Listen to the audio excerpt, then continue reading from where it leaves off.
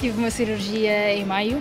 eh, nós já estávamos a pensar nela há algum tempo, mas como tínhamos o objetivo de chegar aos Jogos de Tóquio, tivemos sempre que adiar, porque tínhamos que fazer a preparação e com uma cirurgia que, é, que era de muito tempo não, não nos era possível. Então, assim que terminámos os Jogos, decidimos partir para a cirurgia. Eu acho que fiquei uma semana em casa e depois ainda andava de cadeira de rodas, já estava aqui na pista a fazer tudo o que era possível sem ser com os pés no chão, ginásio, bicicleta, tudo para me manter ativa, porque depois da cirurgia eu estava com muita esperança que ia ser desta e não queria perder tempo e queria começar o mais rápido possível e estava completamente motivada.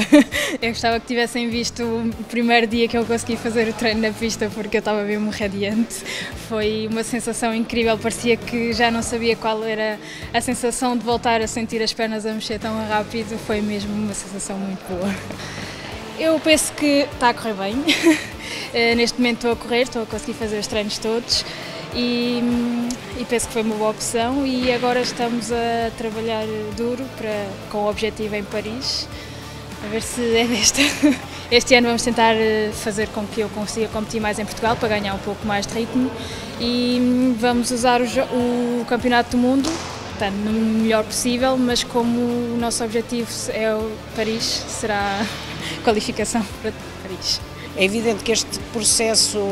da transição de, de, do período operatório e da, recuperação dessa lesão vai ser eh, bastante complicado, mas nós estamos a tentar recuperar níveis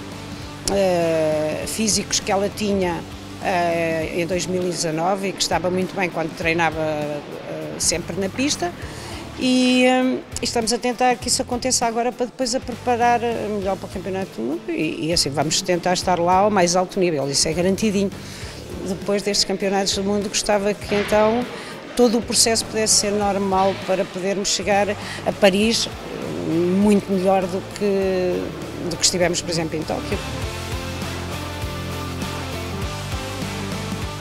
O desporto tem todo o nosso apoio.